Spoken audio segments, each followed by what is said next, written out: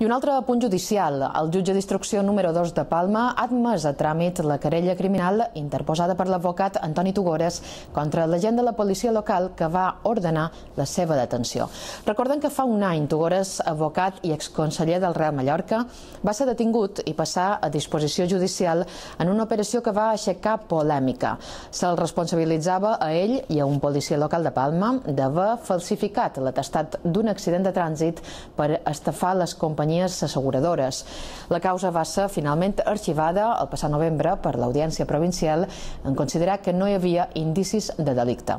Ara la defensa de Tugores ha presentat una querella criminal que imputa un delicte de detenció il·legal a l'agent de la policia local que va instruir l'operació, als agents que van practicar la detenció i a aquells que varen intervenir en les diligències policials.